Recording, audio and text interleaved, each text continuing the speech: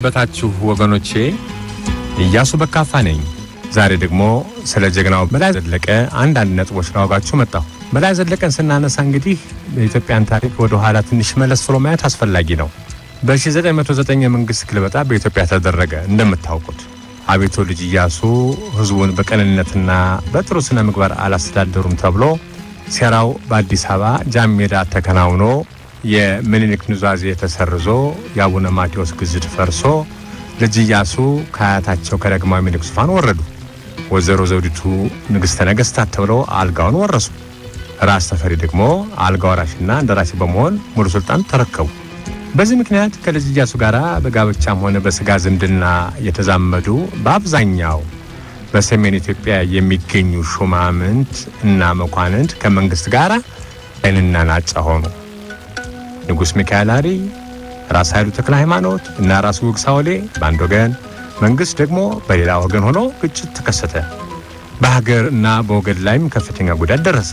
የብዙ ሰው ሕይወትም ተናጋ። ይህ መጥፎ ዕጣ ከደረሰባቸው አንዱ ባሻ ዘለቀ ላቀው የበላይ ዘለቀ አባት ነበሩ። የበላይ ዘለቀ አባት ባሻ ዘለቀ ላቀው ቤተ መንግስት ነዋሪና የልጅ ኢያሱ አንጋች ነበሩ። ልጅ ኢያሱ ከስልጣን ሲወርዱ ባሻ ዘለቀ ወደ ሚስታቸው ሀገር ወደ ወሎ ጫካታ ሄደው መቀመጥ ጀመሩ። በላይ ዘለቀና እጅጉ የተወለዱ እኮ ከባሻ ዘለቀው ላቀውና ከጣይቱ ሰኔ ነው ወሎ። ባሻ ዘለቀው ላቀው ልጅ ኢያሱ ከስልጣን ሲወርዱ ሕይወት ተመሰቃቅሎባቸው ተመልሰው ከቤተ መንግስት ወጡና ወደ ሚስታቸው ሀገር ወሎ ቦረና ሳይንት ጫካታ ሄደው ተቀመጡ። በላይ ዘለቀ እና እጅጉ ዘለቀ የተወለዱት እኮ ጫካታ ነው። ልዩ ስሙ ያውም ጎጣ በተባለ ሰፈር በላይ ዘለቀ የተወለደው በ1904 ነው። እጅጉ ደግሞ በ1906 ወይም ሰባት ይመስለኛል። ይሄንን አንድ ልንል ይገባል። ባሻ ዘለቀው ጫካታ እንደቆዩ በድንገት በዕለት ግጭት እንደሚባለው ሰው ገደሉና ልጆቻቸውን በላይ ዘለቀንና እጅጉ ዘለቀን ይዘው በጠፍ ጨረቃ ጫካታን ለቀው ወደ ትውልድ ሀገራቸው ጎጃም ቢቸና በለምጨን ቀበሌ መኖር ጀመሩ። በ1916 ዓመተ ምህረት በራስ ኃይሉ ተክለ ሃይማኖት የጎጃም ገዥነት ጊዜ ሰው ገድለው ከወሎ መምጣታቸው ተሰምቶ እጃቸውን እንዲሰጡ ቢጠየቁ ኃይለኛ ነበሩና አልሰጥም ብለው ተዋግተው በመጨረሻ ተገድለው ሬሳቸው በመኖሪያ ቤታቸው አካባቢ ተሰቀለ። እንግዲህ አስቡት ነው ባሻ ዘለቀ ላቀው የተሰቀሉት። ያኔ በላይ ዘለቀ ስንት ዓመቱ ነው ማለት ነው? 1904 ስለተወለደ 12 ዓመቱ ነው። እጅጉ ደግሞ እንግዲህ 10 ዓመቱ ቢሆነው ነው። ከአምስት ዓመት በኋላ በላይ ዘለቀ 17 ዓመት ሲሞላው ማለት ነው ካጎቱ የአባቱን አስማሳር ጠመንጃ ተቀብሎ አባቱን ጠቆሞ ያስገደሉትን ሰው ገድሎ ሬሳቸውን ሰቅሎ ታናሽ ወንድሙን እጅጉ ዘለቀን አስከትሎ በሽፍትነት ለመተዳደር በ1921 ዓ ም አባይ በረሃ ገባ። ልክ በ17 ዓመቱ እጅጉ ደግሞ በ15 ዓመቱ ነው። እንግዲህ ባለፈው ጊዜ አባት ስለ አባትነት፣ ስለ አባት ፍቅር፣ ስለ አባት መከታነት የነገርኳቸውን አስታውሱ። በላይ ዘለቀ በሽፍትነት ያሳለፋቸው ዘመናት ከ1921 እስከ 1928 ነበር። በዚህ ጊዜ ውስጥ ሰባት ዓመታት ውስጥ በረሃ በነበረበት ጊዜ በላይ ዘለቀ ብዙ ነገሮችን ተማረ። ስለ ተኩስ፣ አብሮ ስለ ስለ አስተዳደር ከሌሎች ሽፍቶች ጋር ተማረ። በላይ ጥንቁቅ፣ ትጉህ፣ ብልህ በተለይ ደግሞ አልሞ ተኳሽና ጾመኛና ጸሎተኛ ስለነበር ሁሉም እንደ ያኔ የነበሩ ሽፍቶች የልጅ አዋቂ ይሉት ነበር አሉ። ይሄንን በአይምሯችን እንይዛለን።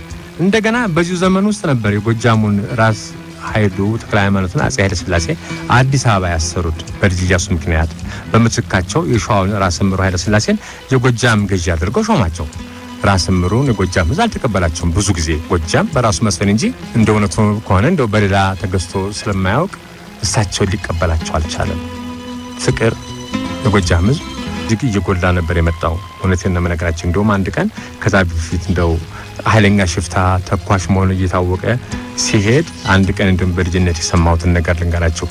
አንድ በላይ ዘለቀ ጥቂት አሽከሮችን ወይም አንጋቾችን አስከትሎ ሲሄድ አንድ እረኛ ይዘፍናል፣ ያቀራራል። በላይ አባ ኮስትር፣ በላይ አባ ነፍሶ፣ ሸበል ላይ ይጥራል፣ ለምጨል ላይ ተኩሶ እያለ ሲዘፍን ሰማውና አንተ እኔ ማን ነኝ አለው። ሰውየውም ደንግጦ እኔ እንጃ አለው። እኔ በላይ ዘለቀ ነኝ አለው በላይ።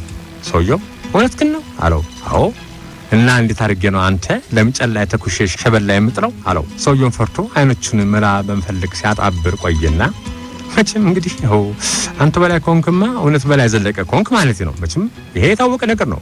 ተኩሳ አትስትም እና ጥይቷ እንግዲህ በአንድ ቀን ከደምጨን ተተኩሳ ሸበል ካልደረሰች መንገድ ላይ አድራም ቢሆን መቼም መጣሉ አይቀርም ብዬ ነው እንደ ብዬ ገጠምኩት አለው። በላይም በሰውየው ፈጠራ ተደንቆ ስቆ ትንሽ ጠገራብሮች ሸልሞት መንገዱን ቀጠላሉ እየተባለ ሲወራ በልጅነቴ ስሰማ ነው ያደግኩት። እንግዲህ በላይ ከ1921 እስከ 1928 በሽፍትነት አብሮ በመኖር በመተኮስ ብዙ ልምድ አገኘ። ህይወት አስተማረው።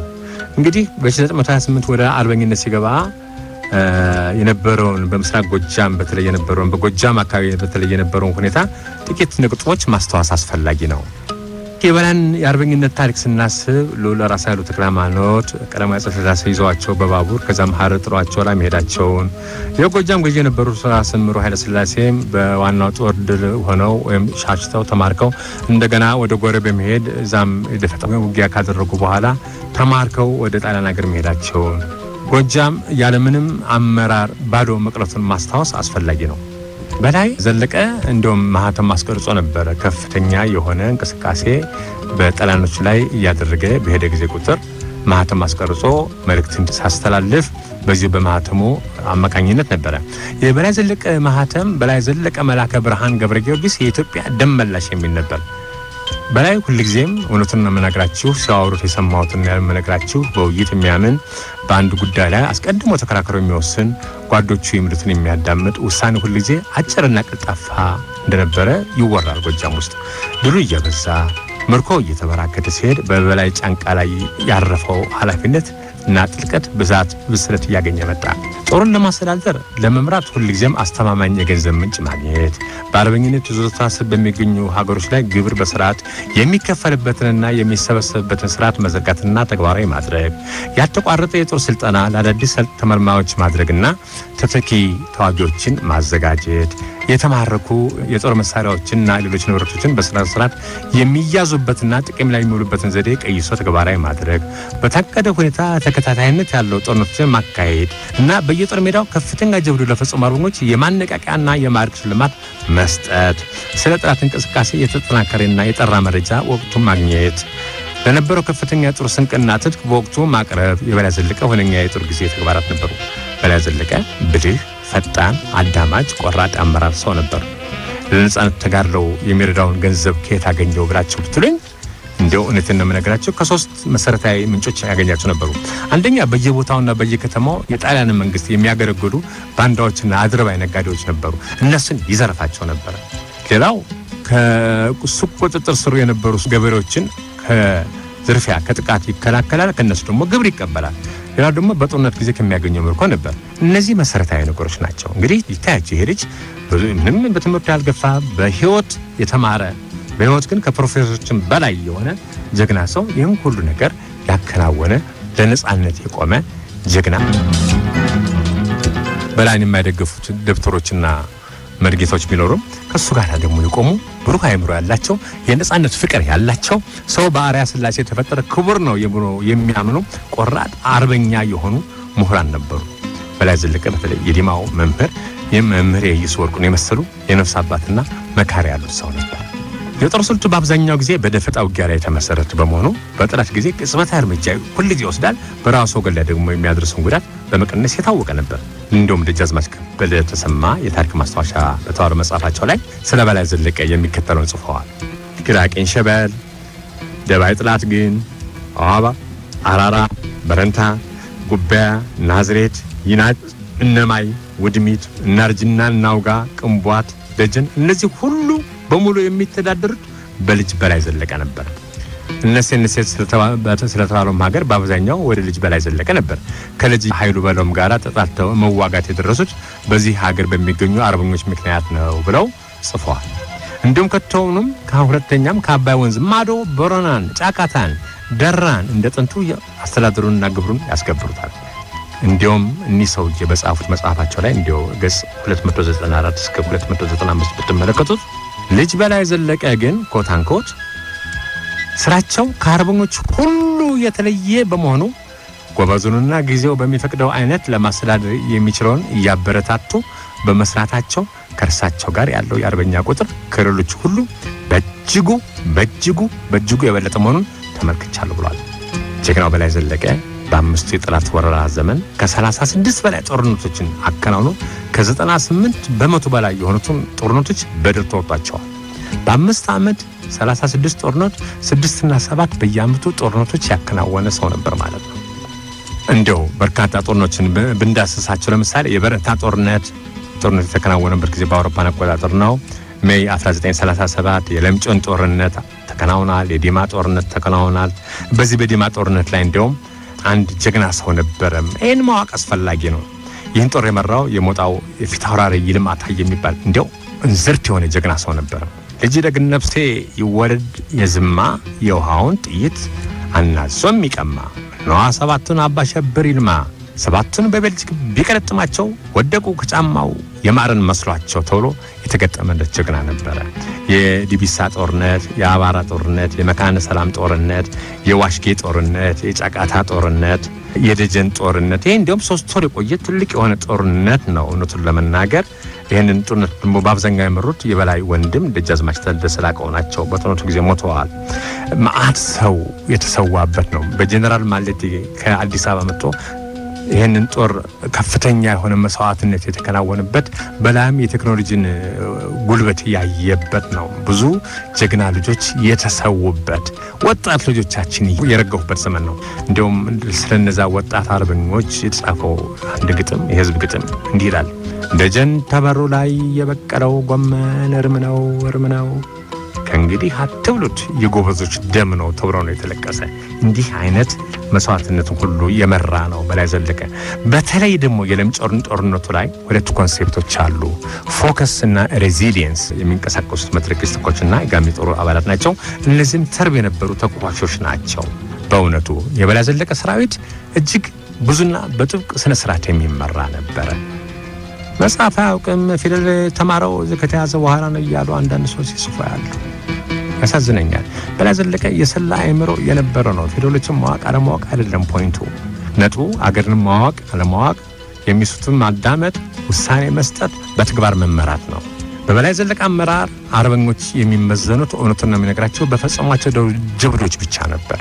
በዘር በጎሳ አይደለም በሰለሟቸው ማት ብርጌዶችን ሁሉ አደራጅ ነበር። የጦር ብርጌዶችን ለምሳሌ የናልጅና ውጋ ጦር፣ የበረንታ ጦር፣ መትረጊስ አስተኳሽ፣ የጋሜ ጦር፣ የነማይ ጦር፣ የደባይ ጥላት ግን ጦር፣ የገራቀኝ ሸበል ጦር፣ የቦረንታ ሳይንት ጦር፣ የደጀን ጦር፣ የውድሚት ጦር፣ የናጭ ጦር፣ የቅንቧት ጦር፣ የነፍሴ ጦር፣ የጉባኤ ጦር፣ የዋባል ጦር እነዚህ ሁሉ regiments የነበሩት ጦርነት ነው። ለእነዚህ ሁሉ ደግሞ አለቃዎችን አስቀምጦ ከራስነት ማዕረግ እስከ ፊታውራሪነት ማዕረግ እየሰጠ ጦርነቱን የመራ ትልቅ የሆነ የኢትዮጵያ ብርቅ ድንቅ የዘለቀ ላቀው የጣይቷ ሰኔ ብርቅ ድንቅ ልጅ በላይ ዘለቀ ነበር።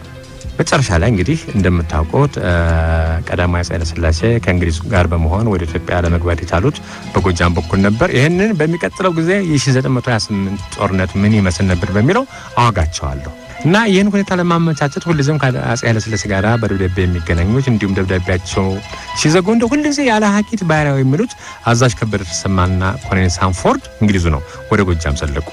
ስለ እንግሊዞችና ስለ ኢትዮጵያና ስለ ጣሊያን የነበረውን ነገር በሚቀጥለው ወዲህ አዋጋቸዋለሁ። በላይ ዘለቀ እነዚህ ሰዎች ተቀብሎ አነጋግራቸዋል። በላይ ዘለቀ መንግስቱ ላይ ሰራዊትን አሰልፎ የሜትሮጊስ ግብአት ተኩሶ አስተኩሶ ነበረ። አዛዥ ከበደ ተሰማንና እንግሊዛዊን ኮሎኔል ሳንፎርድን የተቀበላቸው ድል ያለ ድግስ ደግሶ ይህንን አድናቆታቸውን አዛዥ ከበደም በመጽሐፋቸው በታሪክ ማስታወሻ ላይ እንዲህ ሲሉ እንደውም ገልጸውታል። እነማይ መንግስቶ ከተባለ ቀበሌ ስንደርስ ልጅ በላይ ዘለቀን አገኘ። እሳቸውም ካየናቸው አርበኞች ሁሉ በብዛት እጅግ ብልጫ ያለው ከፍ ያለ የአርበኞች ሰልፍ ከጠራ ሜዳ ላይ አሳዩን። ስለ ደስታም ስንገናኝ የሜትሮጊስ ግባት ተኩስ አስተኮሱ ይላሉ። ኮሎኔል ሳንፎርድ በላይ ዘለቀን አንድ ነገር ይጠይቀዋል። በዚህ ወቅት ያንተ ጦር ግዳጅ እያፈገፈገ የሚመጣውን የጣሊያን ጦር ፊት ለፊት በመቅጠም ለወሬ ነገር ሳታስቀር ማግደል ነው አለው።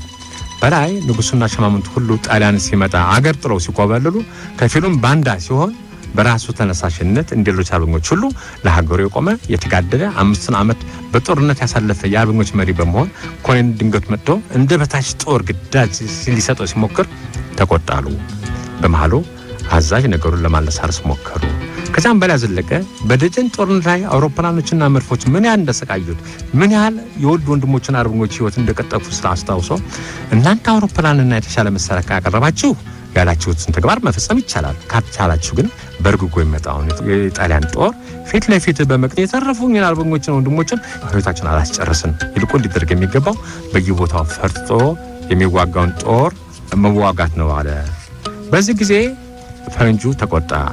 እንዲያውም ኮሎኔል ሳንፎርድ ይህም ማድረግ አለብህ እኛ አውሮፕላን አናቀርብም ሲለው በላይ ኮስተር ብለው ኢትዮጵያዊ ነውና ለማንም የማይንበረከክ መንፈስ የነበር ሰውና አልችልም ልታዘኝ ትፈልጋለህ አለው። ፈረንጁም ሳንፎርድም በዚህ ተደናግጦ ተቆጥቶ ወዲያውኑ ከመንግስቱ ለቆ ወጣ ብለው ጽፈውልናል። አዛዥ ከበደ ተሰማ። ከዛ ደጃዝማች ከበደ ተሰማ በዚሁ መጽሐፋቸው በብዙ ቦታ ላይ ይህንን ጠቅሰውታል። ከዛ የጣሊያን የእንግሊዝ ጦር አፄ ኃይለሥላሴን አጅቦ መጣ። በማርቆስ ሚያዝያ 13 ቀን 1933 ዓ ም ቀዳማዊ አፄ ኃይለሥላሴ ከ1500 እስከ 2000 ከሚጠጋ ጦር አጃቢዎቻቸው ጋር በደብረ ማርቆስ ከተማ የአርበኞችን የሰልፍ ትርኢት ተመለከቱ። በዚሁ ቀን ከጠዋቱ አንድ ሰዓት ጀምሮ በዚህ በሸዋበር በኩል አድርጎ በአምስት ረድፍ የተንቀሳቀሰው የበላይ ዘለቀ ጦር በጃንሆይ ፊት ሲያልፍ አንድ ሰዓት እስከ ስድስት ሰዓት ተኩል ያለማቋረጥ ነበር ያለፈው። በአስር ሺዎች የሞላ ሰልፍ ተመልከቱት። የዚህ ጦር አዛዥ ጀግናው በላይ ዘለቀ ንጉሠ ነገሥቱ ፊት እንደደረሰ ከሰጋር በቅሎ ወርዶ ጠመንጃውን ከጋሻ ጃግሬው ተቀብሎ የፎከረው ፉከራ ባንዲራው የዘለቀ ልጅ በላይ ዘለቀ የጎጃም ሱሪ በላይ የኢትዮጵያ ደም መላሽ ብሎ ነው የፎከረው። ተመልከቱት። የዘለቀ ልጅ ነው ያለው። ባለፈው ጊዜም ነግራቸዋለሁ። በላይ የጎጃም ሱሪ ነው ያለው። በላይ የኢትዮጵያ ደም መላሽ ብሎ ነው የፎከረው። እንዲህ አይነት ልጅ ኢትዮጵያ ያስፈልጋታል። በላይ ዘለቀ በእውነቱ ባለባበሱ ያልተሽከረከረ ለእግሩ እንኳን ጫማ የሌለው የቀይ ዳማ ጎላ ጎላ ያሉ አይኖች ያሉት ቁመናው መካከለኛ፣ ድምፁ በጣም ጉሉህ ግን በእጅጉ ትውት ሰው ነበር። ንጉሠ ነገሥቱም በአክብሮት ከተቀበሉት በኋላ ከመንገሻ ጀንበርና ከኃይሉ በረው አጠገብ በራስ ወንበር የተቀመጠ መሆኑን በወቅቱ የነበሩት የዓይን ምስክሮች ነግረውኛል። ከዛም አፄ ኃይለሥላሴ በላይን በአክብሮት ከተቀበሉት በኋላ በበነጋው ባሳየው ድንቅ የሰራዊት ሰልፍ መርካታቸውን ገለጹለት። በንግግራቸው መጨረሻም ጣሊያኖችን በግንባር ገጥሞ እስከ መጨረሻው ባለመፋረሙ ቅሬታቸውን ገለጹለት አሉ። ያ የነገራቸውን ሳንፎርድን ነው በላይ ለላኩት ሰውና ለፈረንቹም በግንባር መቅጦ የሚያስከትለውን ቁጣት ገልጾላቸው እንደነበር አውሮፕላንና ተጨማሪ ከባድ መሳሪያዎች ቢያቀርቡለት ኖሮ ይህን ሊያደርገው እንደሚችል ይሁን እንጂ ፈረንጁም ሆነ የንጉሱ ተላላኪ አዛዥ ተሰማ ማለቱ ነው። ይህ ለማድረግ ያልቻሉ መሆናቸውን ገልጾ በመጨረሻም ንጉሠ ነገሥቱ በአምስቱ የጠላት ወረራ የትግል ዘመን ለአርበኝነት የሰጠውን የማዕረግ ሹመት እንዲያጸድቁለት ከአሁን በኋላ እርሱ እንደ ማንም ሰው ወደ ግብርና ስራ ተሰማርቶ መኖር እንደሚመርጥ ለዚህም ፈቃዳቸው እንዲሆን ንጉሱን ጠየቃቸው። ንጉሱ ግን ይህንን ጥያቄ አልተቀበሉትም። የለም በአስተዳደር ስርዓት ይጠቅመናል አሉት። አዲስ አበባ እንዲመጣ አዘዙት። እሱም ከተወሰነ ጊዜ በኋላ ወደ አዲስ አበባ ሄደ። ከዛ በፊት ግን የለም ጃንሆይ እባክዎትን ከእናንተ ጋር መስራት ይቅርብኝ፣ በአካባቢው ሆነ ከሌሎች የባለአባት ዘሮች ነን የሚሉ ሰዎችና መኳንቶች አያሰሩኝም፣ የተለየ ወሮ እያቀበሉ ከእርሶ ጋር ስለሚያጣልኝ እባክዎትን ይቅርብኝ አላቸው አሉ። እሳቸው ግን በአንተ ላይ ወሬ አንሰማም ብለው በልጃቸው ምለው ነገሩት ይባላል ጎጃም ላይ። ንጉሠ ነገሥቱ አዲስ አበባ ቤተ መንግስታቸው ከገቡ በኋላ በላይ ዘለቀ በንጉሱ ትእዛዝ መሰረት አዲስ አበባ ሄደ። ለብዙ ወራቶች አዲስ አበባ ከገቡ በኋላ ንጉሱ በደጅ ጥናት በየቀኑ ቤተ መንግስት መመላለስ ሰለቸው። በላይ ፊቱ ጠቆረ። ይልቁንም ከሱ ያነሰ ወይም ያልበለጠ ተጋድሎ የነበራቸው ልጅ ኃይሉ በለው ራስ ተብለው የጎጃም ገዢ፣ መንገሻ ጀንበሬ ደግሞ ቢትወደድ ተብለው የጎጃም ጠቅላይ ግዛት እንደራሴ ሆነው በመጋቢት ወር 1934 ሲሾሙ በላይ ተዘለለ። በመጨረሻ በሐምሌ ወር 1934 ንጉሠ ነገሥቱ በላይ ዘለቀን ደጃዝማች ብለው የብቸና ገዢ አድርገው ሾሙት። በዚህ ምክንያት ስሜቱ ተቀዛቀዘ። ያም ሆኖ በላይ ዘለቀ ጎጃም ሲገባ የደብረ ማርቆስ ሕዝብና ከዚያም ወደ ብቸና ሲገባ የብቸና ሕዝብ ለማመን የሚያስቸግር ድግስ ደግሶ ነበር የተቀበለው። በላይ የብቸና ገዢ ሆኖ ስራውን ጀመረ። ነገር ግን በላይ የሚሾማቸውን ምስለኔዎች የበላይ አለቆቹ አይቀበሉም። ኃይሉ በለው የሚልኳቸውን ምስለኔዎች በላይ አይቀበልም። በቃ አልተመጣጠኑም፣ አልተጣጣሙም። በመጨረሻ የጎጃሙ ገዢ ራስ ኃይሉ በለው የጎጃሙን ደራሲ ቢትወደድ መንገሻ ጀንበሬና የብቸና ገዢ ደጃዝማች በላይ ዘለቀ አዲስ አበባ እንዲመጡ አገር ግዛት አዘዘ። በመካከላቸው የነበረውን ቅሬታ ለመፍታት ራስ ኃይሉ በለውና ቢትወደድ መንገሻ ጀንበሬ አዲስ አበባ ሄደው ደጃዝማች በላይ ዘለቀ ቀረ። የጎጃሙን ሹማምንትና የሸዋ ሹማምንት ተመካክረው በመጨረሻ በላይ ዘለቀ ሸፍጦርና እጁን ይዛችሁ አምጡ የሚል የንጉሥ መልእክት የያዘ ወረቀት በጎጃም ላይ ተበተነ። ስለዚህም በላይ ዘለቀ የእናት አባቱን ልጅ እጅጉ ዘለቀን አያሌው መሸሻና ሽፈራው ገርባውን አስከትሎ ሰው ማዕበራ ገባ። በላይ ከመንግስት ጦር ከጎጃም ከወንዶ ከወንደር በቅንጅ ከተውጣጡ ጦር ጋር ለሶስት ወሮች ያህል ሲዋጋ ቆይቶ በተደረገው ስምምነት መሰረት እጁን ለመንግስት በሚያዝያ ወር 1936 ዓ ም ሰጠ። እጁ እንደተያዘ የእሱም የወንድሙን በካቴና ገባ። የበላይን ሱሪ ሰፊ አበላሽቶበት መንገሻ ጀንበሬ ጉልበቱን አየበት እየተባለ ተቀራራ። ወዲያውኑ በላይ ዘለቀና እጅጉ ዘለቀ አዲስ አበባ ተወሰዱና ታሰሩ። ምን አይነት ካሚዮን መንዜለ ገብጋባ ያን በላይ ዘለቀ ሸዋ ይዞት ገባ አላሉ የብቸና ህዝብ። በእስር ከቆዩ በኋላ በላይና እጅጉ ከስራ መጣው ወደ ጎጃም ሲያመሩ እንደገና ተያዙ። በላይና እጅጉ ሰኞ ታህሳስ 23 ቀን 1937 ልዩ ፍርድ ቤት ቀርበው የሞት ፍርድ ወዲያውኑ ተፈረደባቸው። አርብ ጥር አራት ቀን 1937 ዓ.ም በይግባኝ በገነት ረሉ ቤተ መንግስት ዙፋን ችሎት አዳራሽ ቀረቡ። ወንጀላቸው ተዘረዘረ። የውሳኔ ሀሳብ እንዲያቀርቡ መኳንንትና ሹማምንት እንዲሁም ባንዳዎች ተጠየቁ። ከመካከላቸው አንዱ ይሙቱ ብሎ አለ። ከዛ ሁሉም እየተቀባበለ ይሙቱ ይሙቱ ይሙቱ ይሙቱ በስቅላት ይሙቱ አሉ።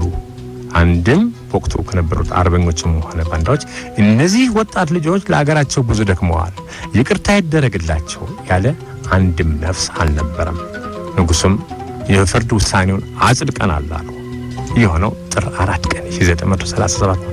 ጥር አምስት የዓመቱ አቦለት 1937 ዓመተ ምህረት መርካቶ አራተኛ ፖሊስ ጣቢያ አጠገብ ጀግናው በላይ ዘለቀና ጀግና ወንድሙ እጅጉ ዘለቀ ሌሎችም ሰዎች አብረው በስቅላት ቀጣናቸው።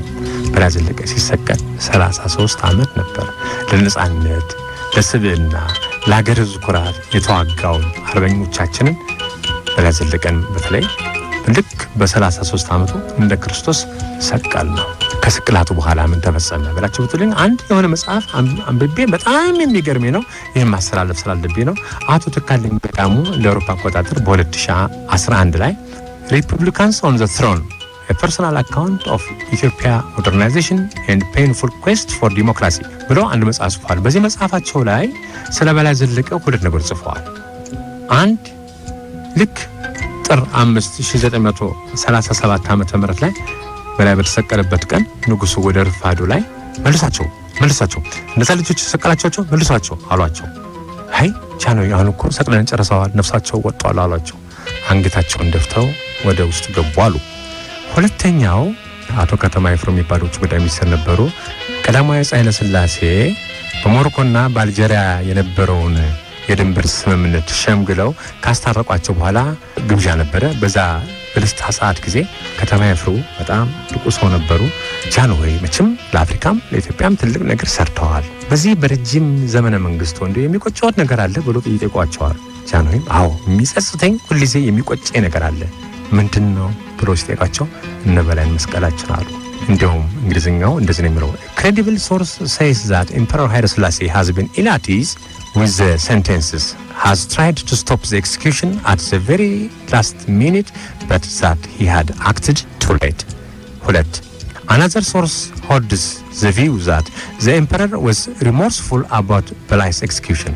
Soon after arranging an agreement between Morocco and Algeria regarding a border dispute, Foreign Minister Katama Yusuf took the opportunity on the happy occasion to pose an interesting question. You have done great things for the continent and for your country, Your Majesty.